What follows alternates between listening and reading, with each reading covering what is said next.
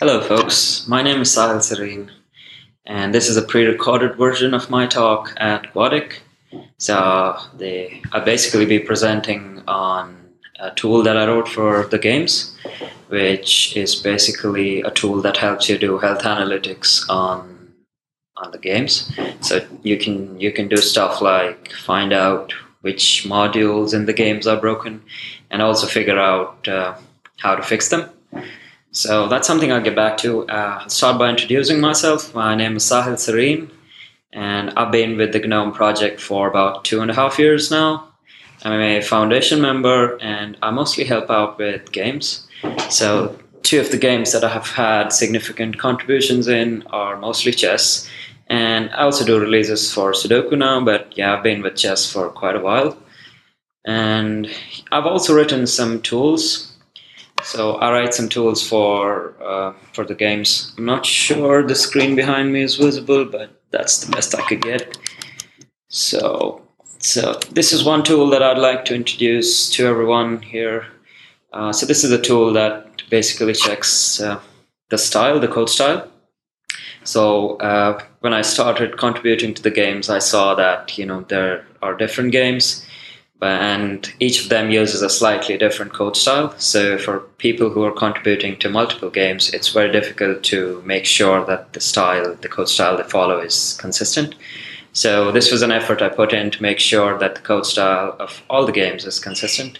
So what this tool basically does is uh, whenever you try to do a commit, it will check your diff and then uh, it will tell you, it will complain about uh, the code styles that you've violated, and then you can go and fix it. And it also saves the reviewers time. So this is something I recommend the other GNOME modules to incorporate, but right now it's, it's in use for all the games, and we're really happy about it.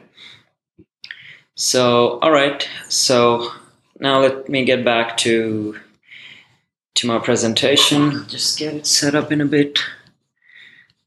Uh, okay, so I'll get back to to the board here. So that's the topic, and I'll start with it with the presentation now. Okay, so introducing you to the games. They are the most interesting part for me in the project. And there are a lot of games. There's chess, Sudoku, there's 2048, Mines, Tetravex, and, and there's more than 20 20 more apart from the ones I've already listed. So it's very interesting. I recommend you to go ahead and play games, give us feedback, and we can improve upon it. So, getting back to the core of this presentation, the health of genome applications or GNOME applications. So, what do you even mean by the health of a GNOME application? So, we have this very nice tool which is GNOME Continuous so what this guy does is it will try to build each module that is registered with it, which is in principle every module in GNOME. And it will try to build it, it will make sure if, it will just tell you if, if the module is good to go or not. So you can see each of these boxes have a green tick mark or a red uh, mark over here. So not sure if that's visible, but please bear with me. So uh, there are two categories that we can clearly see. One is the ones with the green tick marks, and the other one is with the red marks. So the red marks are the ones which need our attention. So we need to uh, probably take a look at the logs for these and figure out what is breaking them. So there's something wrong over here, which which means there's either something broken that is being pushed to them, or there are dependencies of these modules which are broken, which are in turn breaking this module. So the developers for, for these applications need to go back and fix them. So that's that's the tool that we already have, and my tool is an enhancement on top of what this already does. So going back to the previous slide, we also have this uh, IRC channel testable. So you can developers are uh, encouraged to be joining this channel, and then you can see uh, you get logs from, from build GNOME org, which are successful or failed. So if you see that your module failed, uh, on the IRC, you're supposed to go back and try and fix it. So again, so I saw a couple of problems, uh, rather areas of improvement on the tool that, that we already have. One of them is uh, me as a developer, I'm interested only in a subset of the modules because uh, it's just a subset that I maintain or, or I'm responsible to maintain. So, uh, you know, if I have all, all of the GNOME modules listed over here, it's a little hard for me to, to go ahead and check, uh, go ahead and basically look for uh, games modules and then go ahead and try to fix them. So there's there's more information over here than I'm interested in. So I want to filter out just the games from here. So that's that's number one enhancement that I want to do. And another enhancement is there's too little data on the screen. So uh, let's say, for example, we can see a game that's broken, that's Mines. So this one in the corner. So Mines is broken. So I see, okay, Mines is broken. I go to the logs. I figure out, okay, uh, you know, so and so bad comment was pushed to it. Uh, I go ahead and fix the comment, and then come back to this page and look for other games. Let's say there's another game. Let's say Sudoku was broken. And then I go to Sudoku and see, okay, this dependency is broken and I need to fix it. But before I make any dependency changes, I need to make sure that uh, there aren't any other games which have a dependency on this that are breaking. So I have uh, a problem now. I need to figure out uh, which games have this as a dependency, and I have like 25 games, and I need to check or I need to figure out, you know, which games depend on this particular dependency, which is broken or which is breaking Sudoku, right? So that's another problem. There, there's no relationship between two different modules, uh, which which are actually related in terms of uh, the dependency. So there, there is a dependency, for example, there is a potential dependency, for example, on two games, which I cannot see from here directly. So, so that these are two motivations that um, that led me to build this tool. So, and I was looking for options, and you know, what what could I use to represent these relationships? Uh, is there a way for me to have a nice visual tool, just like Continuous, uh, but something that gives me just a subset of things that I'm interested in? So I ended up choosing graphs as an option. So for for those of you in the conference which which aren't familiar with graphs or uh, aren't from a computer science background, you can think of graphs uh, over here for this application as uh, each of the games or each you know, module being a circle and each dependency for instance being another circle. So you can think of uh, the circles being entities like uh, a game module or a dependency for a game module. And then you can think of uh, lines between circles like lines connecting two circles so I'd say if there is a dependency that depends on a game, I draw a line between the two circles.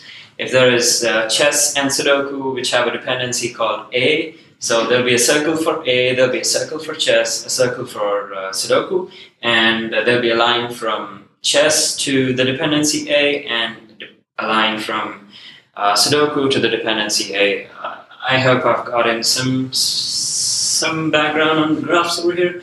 So okay, and then, okay, uh, now I'm des- I've decided to use graphs because they're very flexible. They they meet the goals that I want from continuous. So what next? So now I need a tool that you know that that basically helps me achieve this with graphs. So I find Neo4j as a nice tool which does graph visual- visualization. It also helps me do a ton of other things like uh, taking out a subgraph or a subset of information out there, running queries, and filtering out information that, that is of my interest. So I'll show this in a demo. But okay, so graphs, graphs everywhere. So uh, for this is easier to imagine for people from computer science background. So you can see that uh, everything in the world is basically an entity, and you can see that a ton of these different types of entities are related to other entities, like, uh, like let's say I'm related to the GNOME Foundation.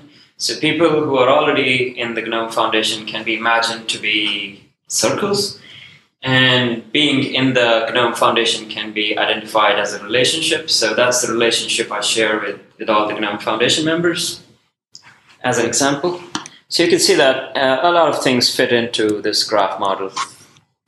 So, okay, so you said, I said that uh, graphs can help represent information, I can run queries on them, and I can also pull out a subset of information from them.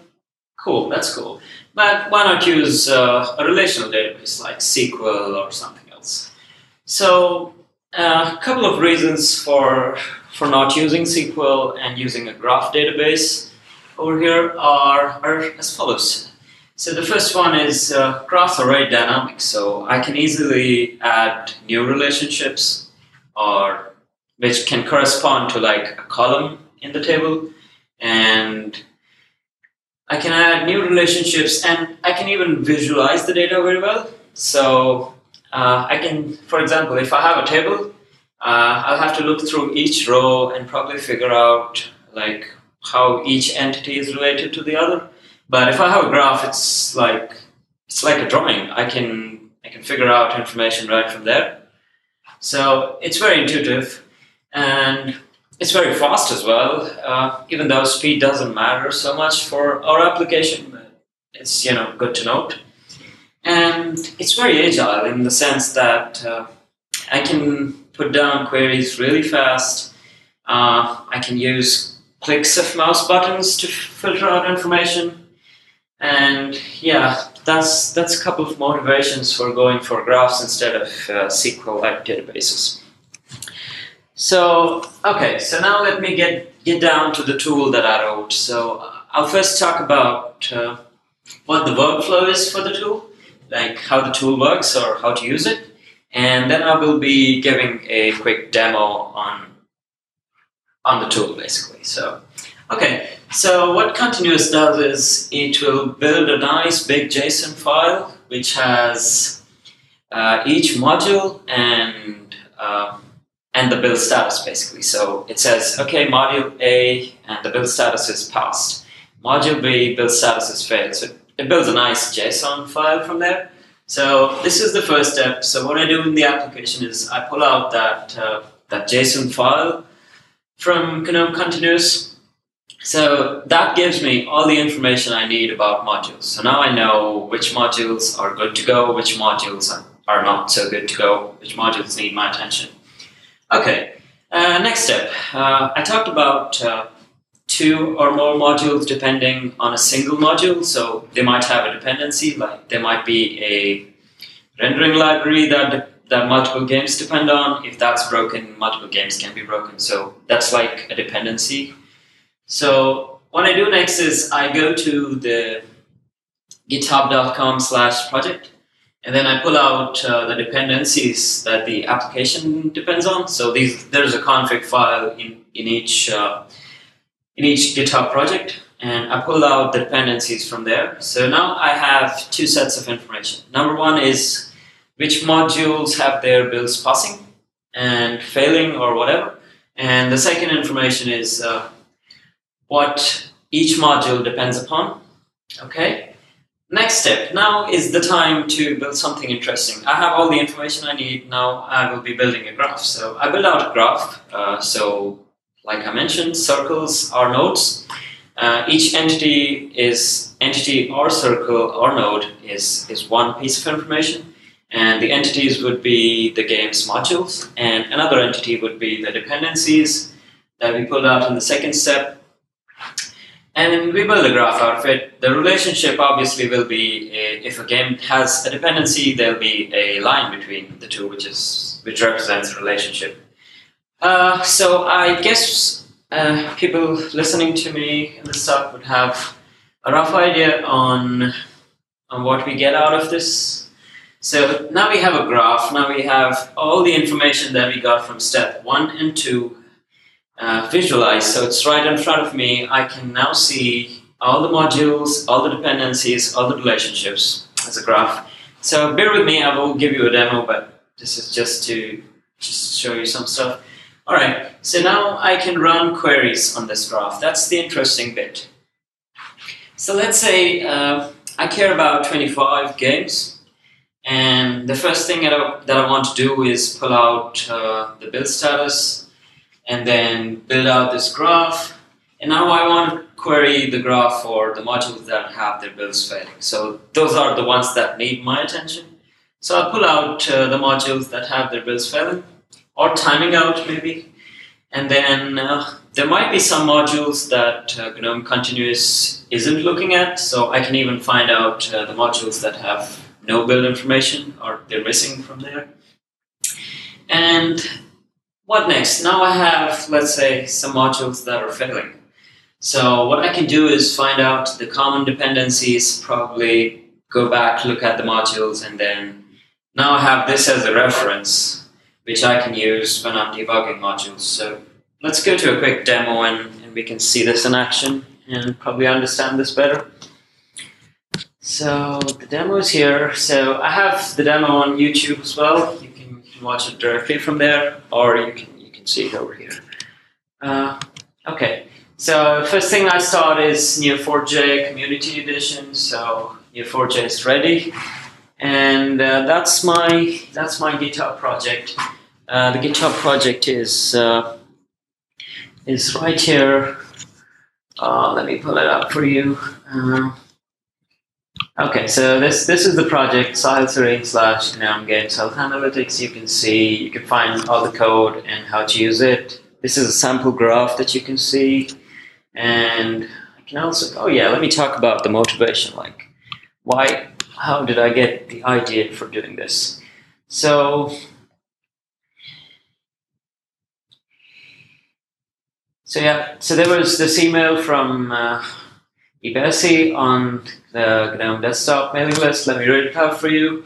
It says, in short, we're building the core GNOME and some applications, every time something gets committed to git.gnome.org, we're also doing various tests like smoke testing, the session, running applications, and building VM images out of the build process. What we need now, though, are build sheriffs. So people that watch this build process and ensure that it continues smoothly. So every maintainer is expected to be on IRC on the testable channel, but sadly that's not the case. Many of us are not doing that, and that means they miss the notification that something broke the build.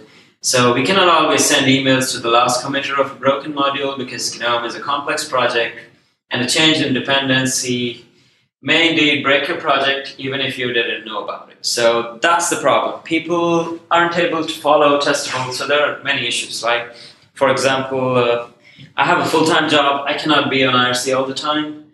So I probably check uh, stuff on the weekends, like just make sure everything is sane on the weekends. So I cannot be on the, on the channel all the time.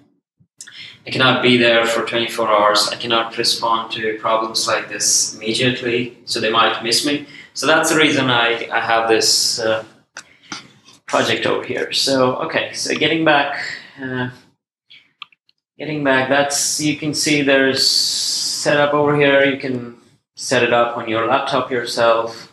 And you can also contribute to this. I appreciate if you if I get some contributions.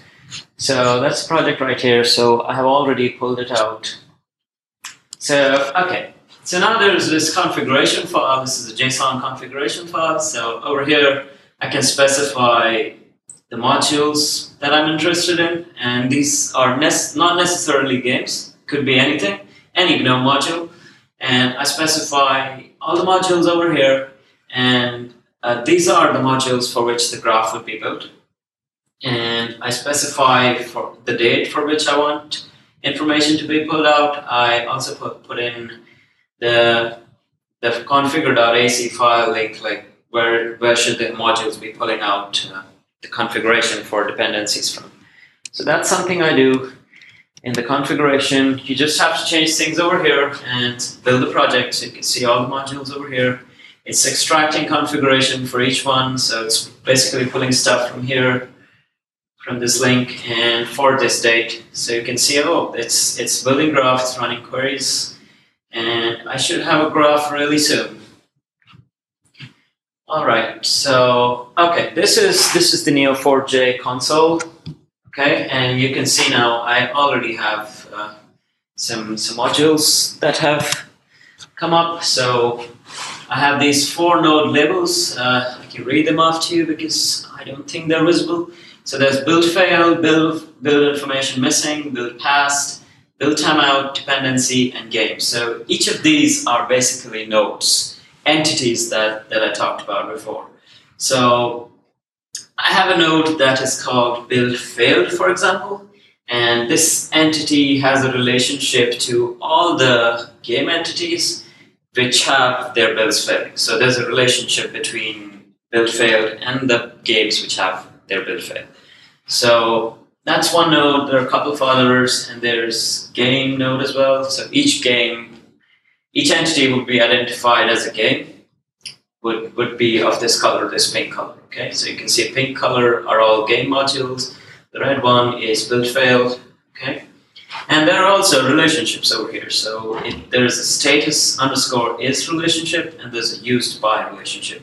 So status underscore is is used to identify uh, the build status, so build passed, build failed, uh, build timed out, stuff like that.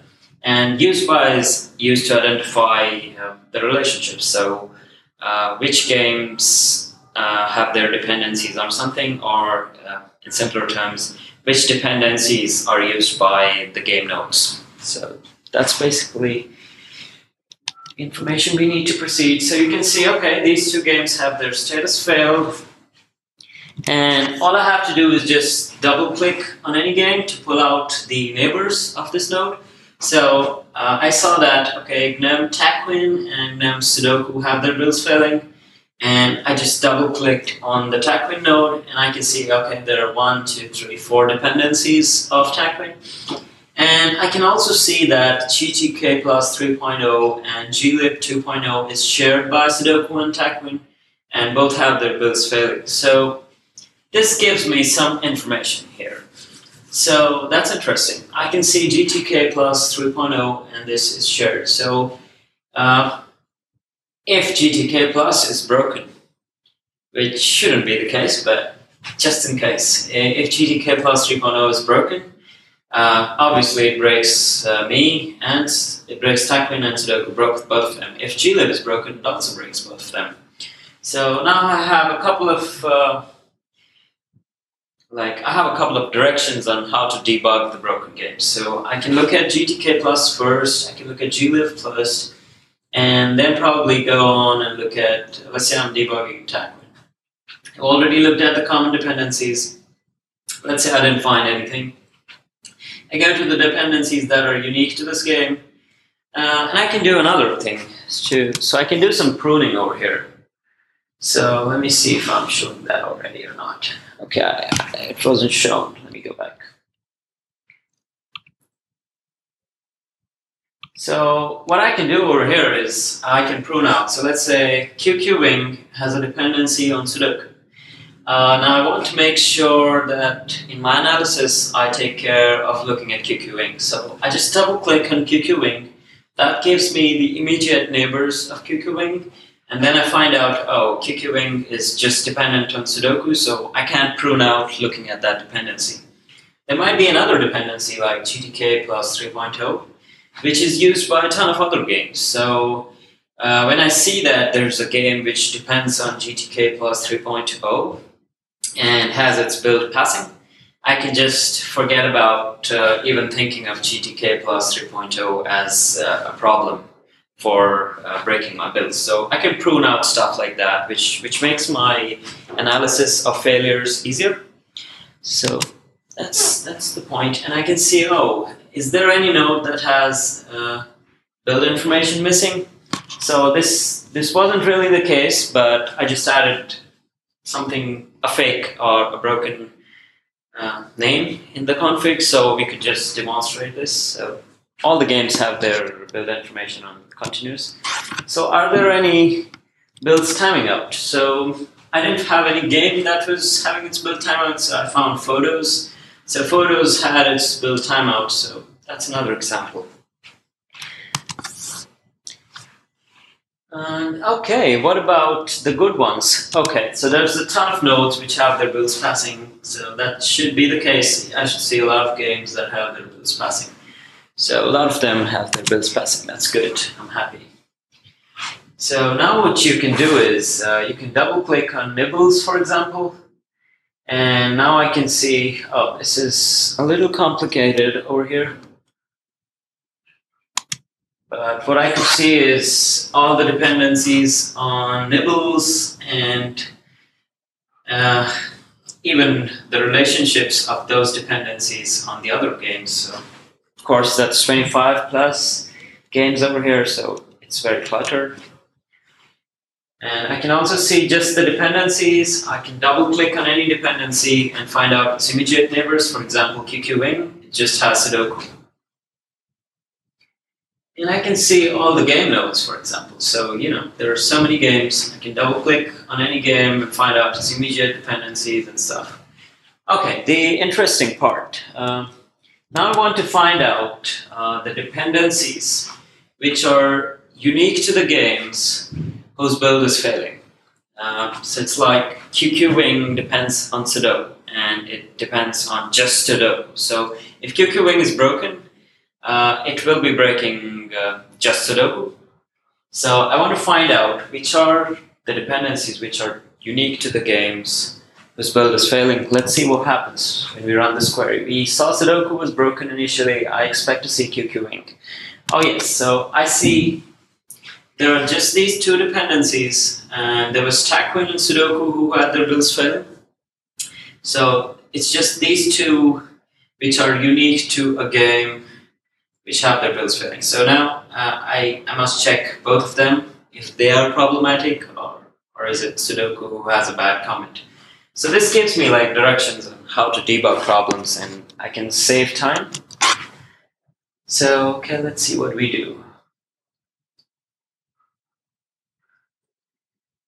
So next example, so okay, let's see. So we have Taquin as well. Okay, so now we do something different. We, we look at dependencies which are used by the second module which are failing. So that second one is Taquin.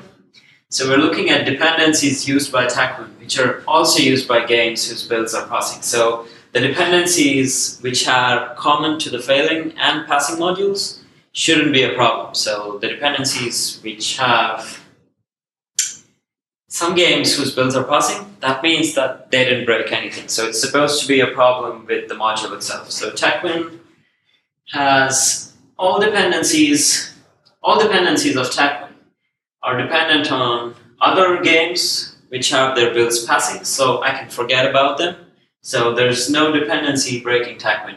I straight away know that there's a bad commit which went to Taquin which broke it. So let's go ahead. Uh, okay. So so what is our analysis now from this graph, uh, from this query that we ran on the graph? So Sudoku might have a bad commit, or it might be broken by these two dependencies, which are unique to just this guy. Taquin uh, doesn't have any unique dependencies, so it's highly probable that Taquin has a bad commit that broke it. So now I have like dedicated information to look at. Okay, so let me show you a demo here. So we have other dependencies. GD should be depending on other guys. That's the reason why it wasn't shown. And they have their builds passing, okay? So the dependencies that were common to passing modules were not shown in the pruned graph that I got from the query. So that's about it for the presentation. And, and uh, all I'd like to say to conclude is may the graph be with you. And, and that's all the information about me. You can, you can, uh, you can see me around on IRC as S S A R E E N or you can drop me an email on ssareen at the rate gnome.org. You can connect with me on Facebook and GitHub as well. There are links right down there. So I miss you all. I couldn't get to the conference because I couldn't get an emergency visa at uh, the German embassy in Dublin. So I'm really sorry about that, but that's the best I could do for you. And I hope to see you in the next GNOME conference. And bye for now. Have a fun time.